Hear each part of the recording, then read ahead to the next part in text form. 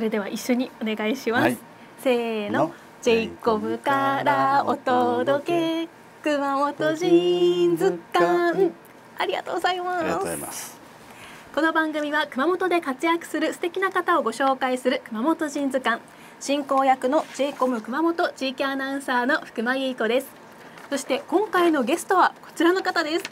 はい。一般社団法人日本ソムリエ協会執行役員熊本支部長の桃木純と申します。よろしくお願いします。桃木さんよろしくお願いします。よろしくお願いします。え早速なんですが日本ソムリエ協会とはどのような協会になるんでしょうか、はい、はい、もう皆さんご存知だと思いますがワインですね。ワインを中心とした、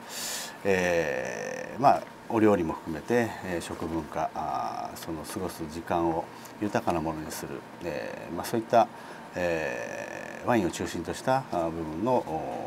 協会の活動になります。はい。今日はですねそんなワインに関してそしてソムリエとはどういうものなのかそして桃木さんの人となりについてお聞きしていきたいと思います、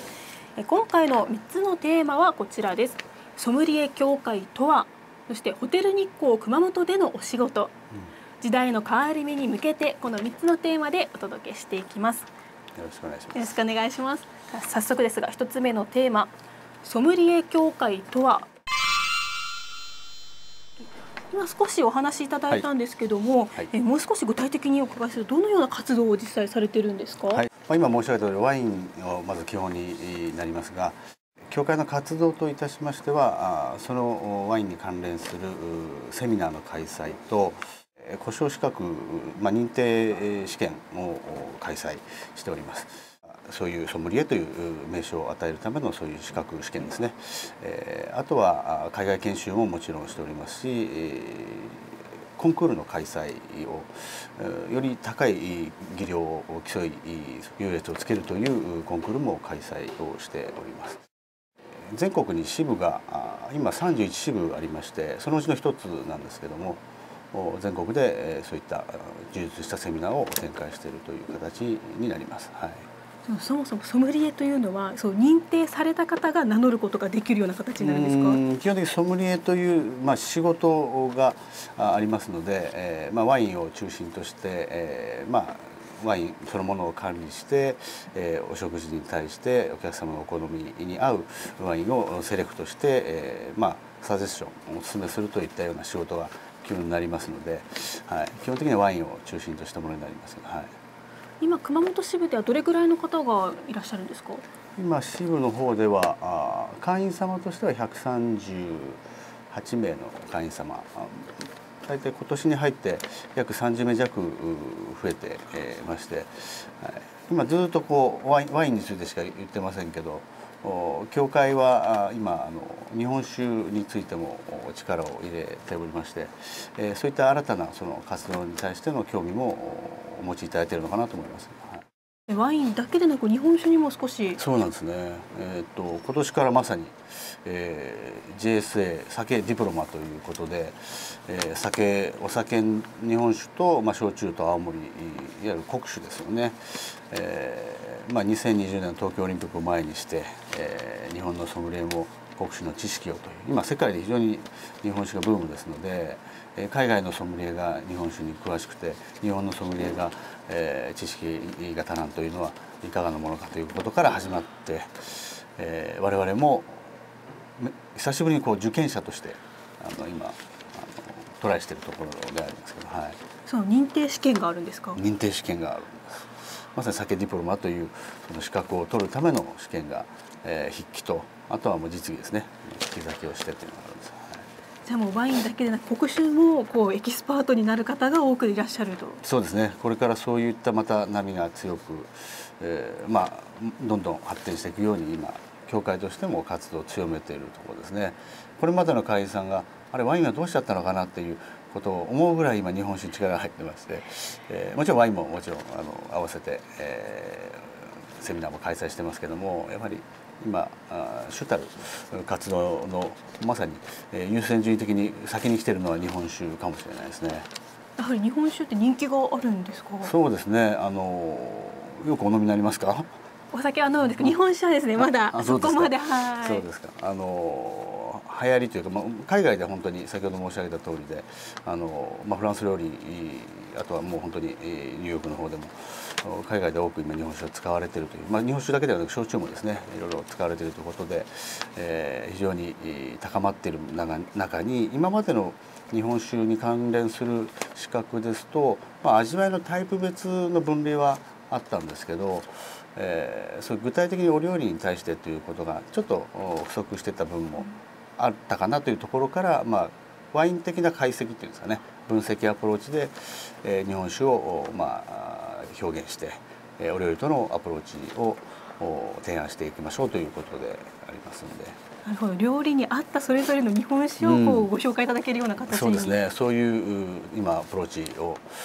まあ、ももちろんあのそういった資格の中身としても、えー、基本的にこうこういう形でいかがでしょうかっていうの具体的に、えー、出てますので特に海外の海外で日本酒がもっとこう普及するようなことも前提に、えー、日本料理に対して日本酒ということよりも全世界の料理に日本酒がどのように合わせていけるかっていうのも合わせて、はい、あの書かれてますのでぜひ興味がありましたらご一読いただければと。思います。はい。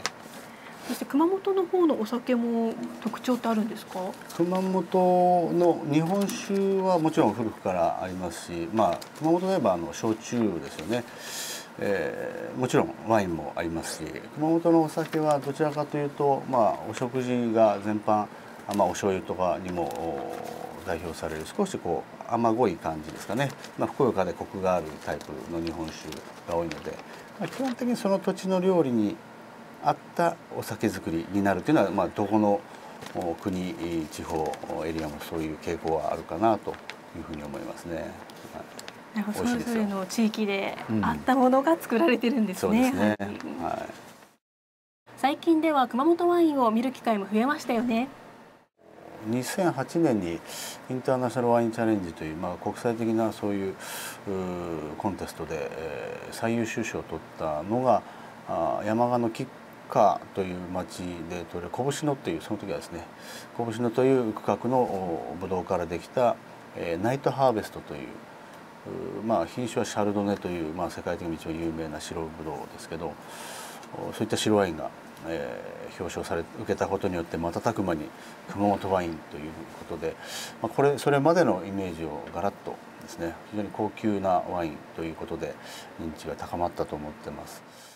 ホテルの宴会とかでもやっぱりご注文というか飲まれる方ですよね。ただあのキッカーの先ほど申し上げたナイトハーベストという一番最上クラスではなくてその次に次クラスとかはある程度供給量がありますので、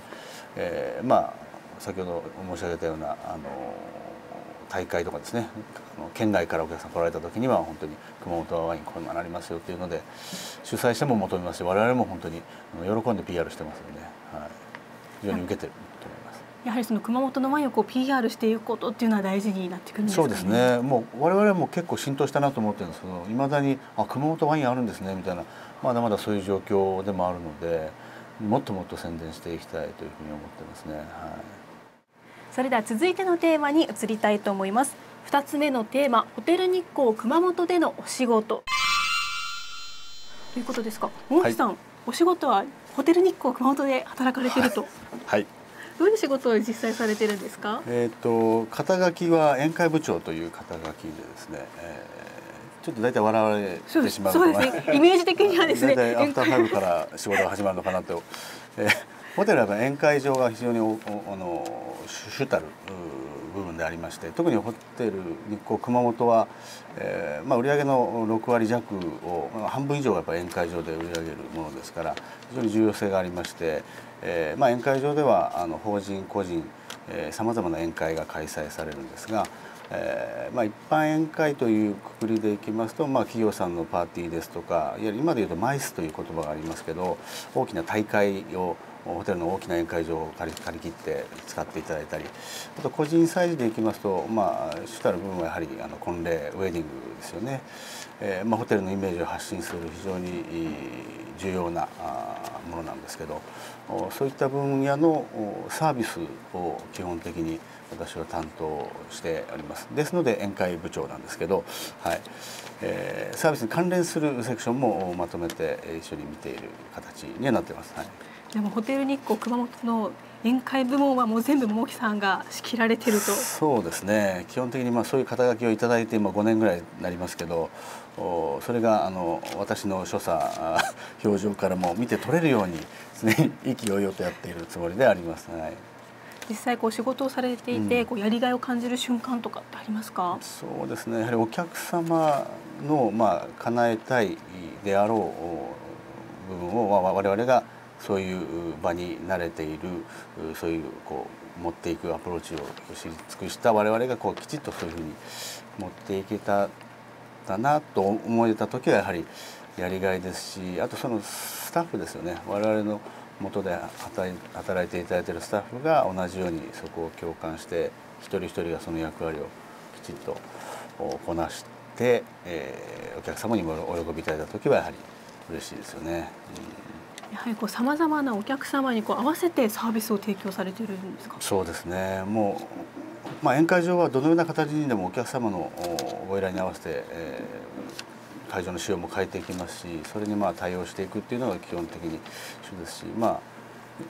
100名いらっしゃった100名すべてお客様があの思考が違いますしね。それに対して合わせていくというのは非常にまあ難しくもあり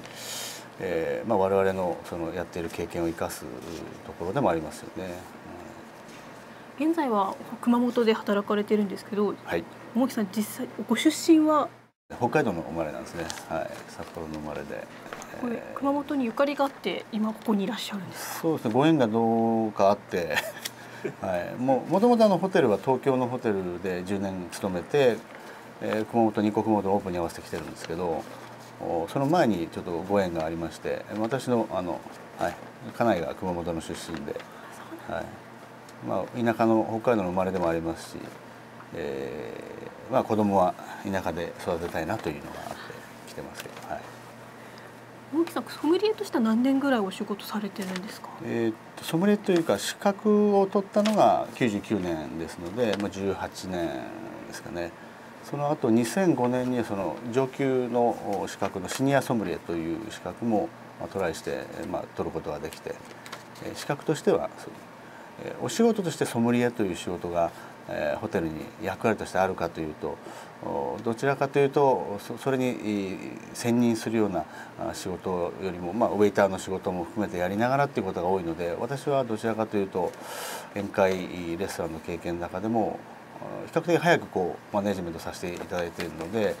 まあ、イベントとかそういった必要に応じて、えーまあ、いろいろそういった関連の方々と協力して大きなイベントをちょっと仕掛けてきた感じがありますね。そうなんですね。今桃木さんのお仕事についてお聞きしてきましたが、えー、3つ目のテーマに移りたいと思います。時代の変わり目に向けてということで時代の変わり目を感じてらっしゃる。す、ね,、ごいテーマですよね。本当にですね。いやほんあの我々の仕事がまず労働集約型という非常にあの多くの人を必要とする仕事で、えー、まあ今ちょっと話がネガティブになってしまいますけど人手不足みたいな話になるとまさに人がもうこの根幹であるこのホテルのようなサービス業をいかにして成り立たせていくかっていうのがですね、えー、まあ今いろいろこういろいろ AI だなんだっていろいろありますけどそういったものには変われないものがやはりあるなと。まあ、そういった中にそのサービス人の、まあ、存在価値というか必要とされていなくては意味がないのでやはりお客様先ほど申し上げたようなお客様のご意向をいかにこう汲み取って、えー、そのように、えー、なれるようにですねなっていただけるようにアプローチしていくかというのはすごい大事かなと思ってますんで悩みどころ非常に大きな悩みどころでもありやりがいでもあるんですけどね今そこがだからこそおもてなしサービス技術全般、えー、所作全般やっぱりこう鍛え直していかなきゃいけないかなと思ってるところですよね。ソムリエ協会としてのこれからっていうビジョンなどありますか？そうですねあの支部が先ほど申し上げた通りで、まあ、各県というか、まあ、まだ31支部なんですけど来年まだ39支部になる予定なんですけどやはりより細やかなその、まあ、地方というかそこの地元に即した内容で開催していけたらいいなというふうに思ってまして、えー、まあ、以前は南九州支部という南九州3県でやっていたんですけど、まあ、旅館の女将さんですとか、えー、まあ、サービスのもちろんソムリエはあのレストランとかですけどおかみさんとか旅館の皆さんにもワインをもっと知っていただいたり、まあ、開け方とかアプローチとかっていうのも知っていただいてあらゆる場で、えー、まあ、熊本のお酒ワインがこう紹介されていくっていうことを正しくですね紹介されていくっていう環境を作れるようにというのはやっていきたいですし熊本って広いので今熊本支部になってもやっぱり熊本市で開催することが多いんですけどやはりもう県南の方ですとか県北の方とかいろいろと活動を広げて、えー、まあ極力消費者なりあと旅行に来られた方があの触れやすくしていくのがやっぱり、これからまだまだ続けていかなきゃいけないことかなとアジアからも多くお客様が来ていただくような形が今できてますしこれからさらに増えていくと思いますので、えー、まあ、そういった海外の方向けのアプローチもこれからやっていかなきゃいけないのかなと思いますね。こう観光客の方にこう PR していくことがこれからにつながるんですかね？そうですね。観光客外もそうですし、まあ日本国国内の旅行の方もですね今本当にあの高齢化でお金を持ったあの高齢の方も多くいらっしゃいますし各地方の良さはやはりこう体験しにやはり、えー、旅行もかなりあの賑わってますのでそういった部分でもきちっとしたアプローチでご紹介できるように、まあ、楽しんでですねご紹介できるようにしていければいいなと思ってます。そういうおかみさんに対しての研修とかもされてるんですか、えー、研修まではないですけど、まあ、以前はそういったあの、まあ、ワインセミナーという形でそちらまで出向いて、えー、旅館さんのちょっと一つお部屋をお借りして、えー、まあセミナーという形で、まあ、開け方とかいろいろこうややってみたりとか、まあ、どういう料理に合いますねみたいな話とかもですねちょっとやってみたりはしてますしこれからまだまだちょっといろいろ増やしていきたいなと思ってますけどね。やっぱり熊本のお酒だったりワインだったりがもっともっとですね広まっていくといいですね。そう、ね。うん、そう思いますね。うん。それではですね最後にもっと桃木さんのことをですね人となりをお伺いしていきたいと思います。マイフェイバリットのコーナーです。え今回は桃木さんならではのお気に入りのものをご紹介いただけるとお聞きしてるんですけども、ははは。これは熊本ジン図鑑ですよね、はい、熊本にのマイフェベルトですね。そうですね、はい、熊本のお気に入りのものをご紹介いただければ。いろいろ考えたんですけどやっぱり細かくなっていくとあれだなと。私はあの熊本の生まれではないので本当に思うんですけどマイフェベルトというかもう本当に好きだな愛してるなというのは熊本の人ですね。かっこ女性にしたいぐらいですけど あのまたうちの奥さんがいますから、えー、やはり本当にあの温かい、えー、最初ですねこちらに移り住んだ時はやはりこうとっつきにくいというか、まあ、いわゆるモッコスっていうんですかね。ちょっとこう寄せ付けないような感じはありましたけど何か共通項が見えると途端にこう入ってきていただくみたいなところで、えー、やっぱりすごくあの人に対して、えー、なんですか無償の愛というか無条件にこう優しくいらっしゃるなというのはもういろんなところでだから本当にあの家族とかいろいろ東京とかですねそういった状況もありましたけど地域地方は本当に地域の皆さんで人を育てるというかですねいうことがあるなとは思いますしやっぱりすごくあったかいこの人が好きで熊本マイフェイバリットは人かっこ女性です。ありがとうございます。熊本の人、そして女性がマイフェイバリットということでしたけど、はい、それでは最後に桃木さんあの、はい、一言ですね視聴者の皆さんにメッセージをお願いします。はいえ、やはりホテルまたソムリエということでやっておりますので、えー、まあ全般盛り上がっていくために、えー、ホテルとしてもさまざまなあまあおもてなしという言葉をふさわしいのか分かりませんけどさまざまな工夫をして、えー、まあお料理とお酒と、まあ、ワインとより今までにないアプローチで楽しんでいただけるようなさまざまな提案をしていきたいと思ってますので特にホテルはですね今年15周年でときめくホテルという非常にハードルの高いキャッチコピーをつけてしまったものですから、えー、ときめくって大変なことですからね、えー、やはりあのお客様にその感動をって言ってしまうとちょっと安くなってしまうんですけどやはりお客さんの期待を常に超えるようなあそういった提案をするホテルだなとそういうふうに思っていただけるように、えソムリエとしてもやはりいろんな提案をしていただけるなというそういったソムリエでありたいホテルマンでありたいと思っています。頑張りたいと思います。ぜひホテルに足を運んでください。大木さん今日はありがとうございました。ありがとうございました。